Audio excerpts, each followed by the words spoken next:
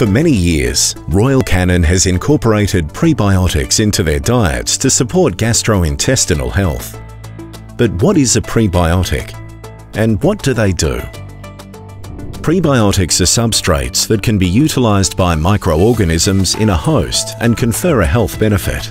The most common prebiotics found in the diets of dogs and cats are non-digestible dietary fibres that contribute to an adequately balanced microbial population in the gastrointestinal tract. These differ from probiotics, which are the beneficial microorganisms themselves. Two well-known prebiotics used in Royal Canin diets are fructooligosaccharides, also known as FOS, and mannan oligosaccharides, also known as MOS. Although they can both have a dramatic effect on the microbial population in the colon, the mechanism by which they accomplish this is different between the two. Fructooligosaccharides help to promote the growth of beneficial bacteria and help to limit the growth of potentially harmful bacteria.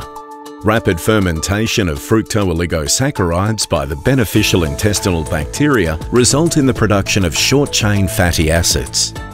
Short-chain fatty acids are necessary for promoting, supporting and maintaining the health of the intestinal epithelial cells, or cells lining the gut. The health of these cells directly helps to improve digestion and nutrient absorption. Mannan oligosaccharides are beneficial to the gastrointestinal tract by acting in two ways.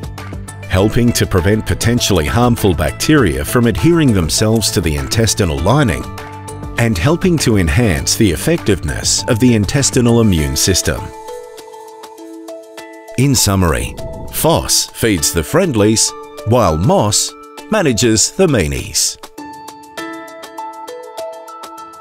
Royal Canin incredible in every detail.